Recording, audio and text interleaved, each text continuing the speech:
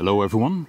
So a question I sometimes see in the comments on the Teaching Tactics episode on the German assault rifle platoon is how the American BAR, the Browning automatic rifle, how that compares in this story about the evolution of individual firepower.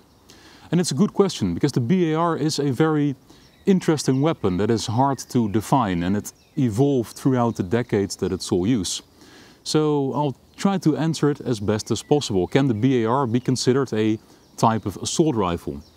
Now there's really two sides to this question, technical and tactical. Technical is pretty straightforward, so we'll just quickly go through that one first. But tactical is a bit more open to interpretation. So uh, we'll do that one uh, later.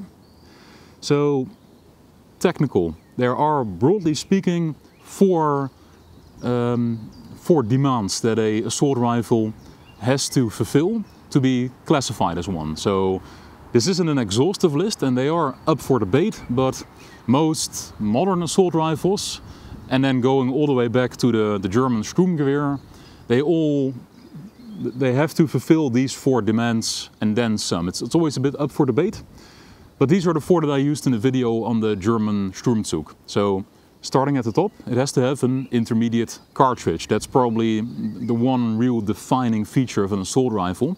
So it needs to fire a round that is in between a pistol caliber and a rifle caliber. And for the BAR, the answer is quite simple. It just doesn't fire one. It fires a full power rifle cartridge, the same one that is fired by the, the bolt action rifles and the, the Springfields and the other machine guns.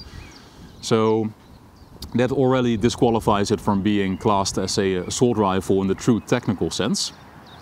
Now the next point is having a high capacity magazine that's a bit more up for debate. So typically assault rifles nowadays have 30 round magazines. The Sturmgewehr also had a 30 round magazine. And if you then look at submachine guns that were used alongside the BAR, they typically also fired 30 round magazines, but then a pistol caliber of course. So it's quite clear that 30 rounds was the, um, the accepted standard whereas the BAR had a 20 round magazine, so it fell a little short. However, you do have to take into account that the BAR was first introduced in the First World War, so it saw action in 1918. And having a 20 round detachable box magazine is quite impressive actually for that time period if you compare it to like the, the bolt action rifles. So it falls a little bit short of what most assault rifles had, but 20 rounds it's up for debate if you can call it high capacity or not. The third point is select fire, which simply means it has to fire both single shots, so semi-automatic, and then also fire fully automatic. Now the BAR is interesting because it started out as a select fire weapon. So the first models that were in use in 1918, they had a single shot function and then you could flip the switch to a fully automatic mode.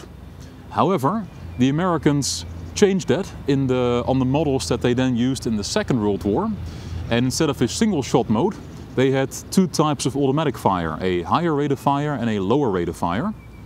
So it really depends on the model. The first models, they were select fire. The later models, well, not having a single shot, that's the entire point of select fire. Sure, you can have two types of automatic fire, but they both broadly do the same thing. So you could argue that the lower rate of fire, it was slow enough that if you pulled the trigger very softly, then you could squeeze off a single round, but it wasn't really mechanically designed for single shots, so I'd argue it is no longer select fire on the, the models that were used in the, the Second World War.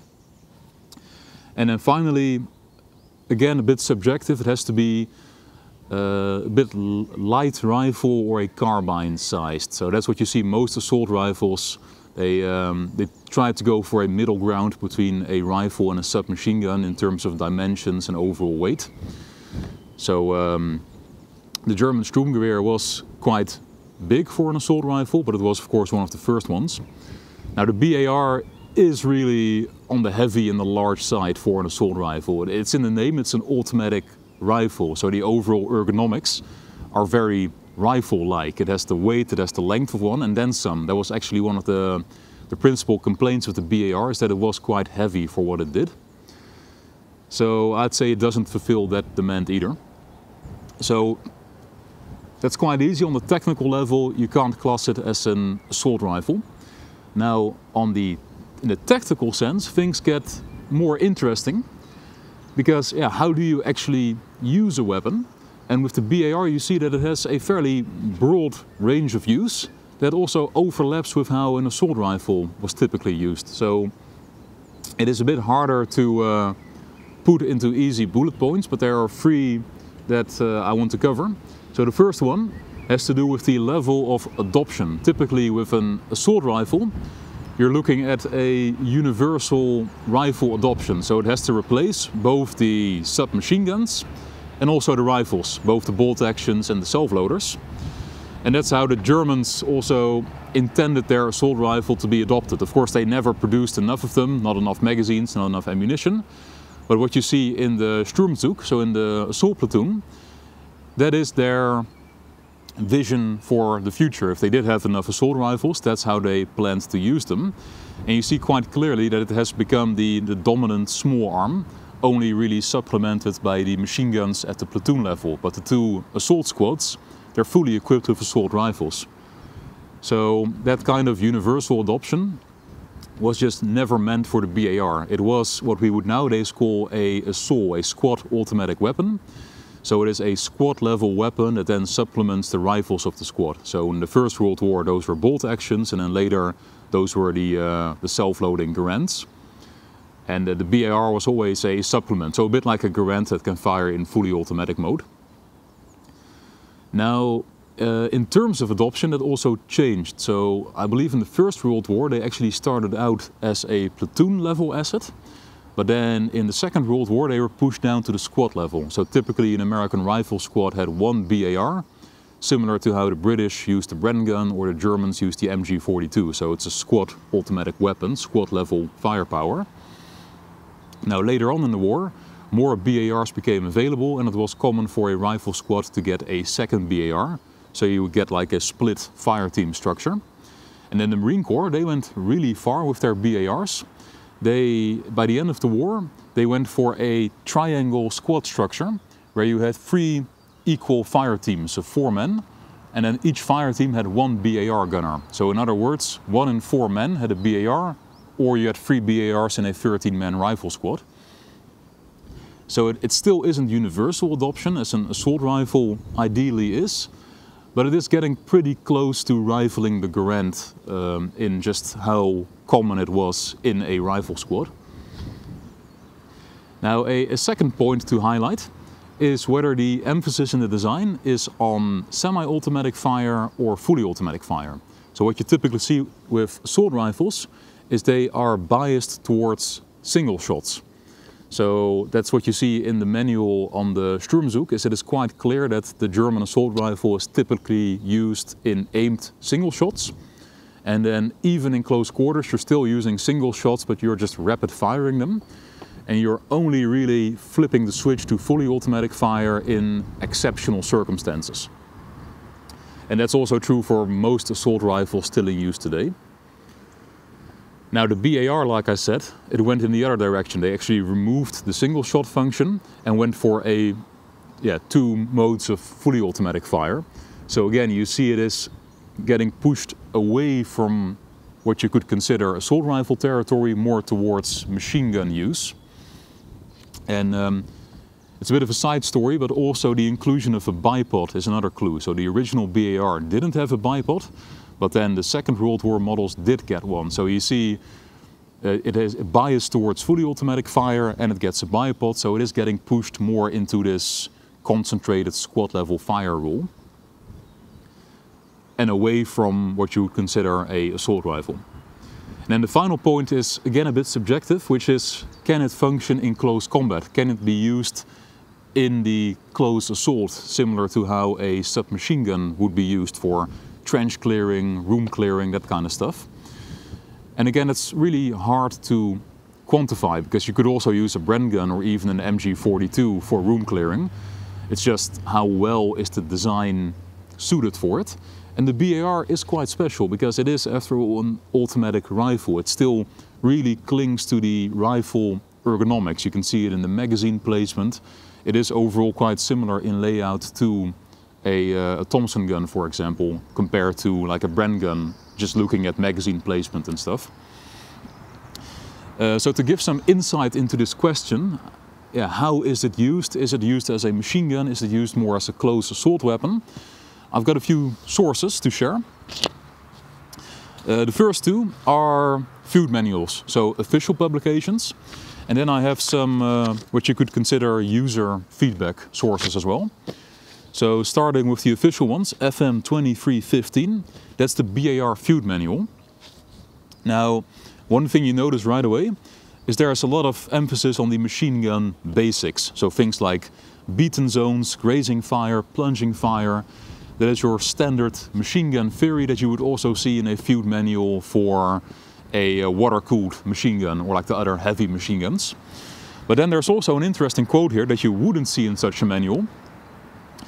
The fire of automatic riflemen armed with the BAR will generally be opened as close to the enemy as possible. So there you see it is a bit ambivalent. Yeah, it is on the one hand a machine gun, you can do machine gun stuff with it, but you can also use it in close quarters. Moving on to FM 710, which is on the rifle company, and that also includes the platoon and the squad level. So um, it says, the automatic rifle provides the rifle squad leader with an easily controlled and maneuvered weapon capable of a large volume of fire. Its lightweight permits the automatic rifleman to maintain the rate of advance of riflemen and to fire from any position. So there it emphasizes the flexibility that comes with the rifle-sized package.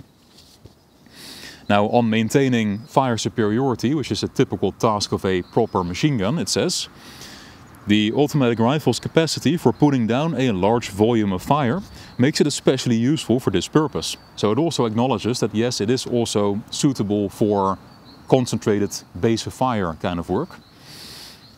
And then on assault fire, so that is the, the final dash into the enemy position where you're both shooting and moving as you are sweeping through the enemy's position, it says. Automatic riflemen and riflemen with bayonets fixed all taking full advantage of existing cover, advance rapidly toward the enemy and fire as they advance. So again, very aggressive shooting from the hip kind of stuff.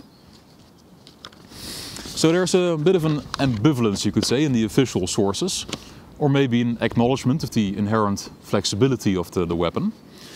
And to really show you the, the extremes of this spectrum of use, I've got two user experience sources. So starting with the one that really illustrates the aggressive close-up assault use, I have the Medal of Honor citation of Staff Sergeant Lucian Adams of the 3rd Infantry Division that he earned in 1944 in France.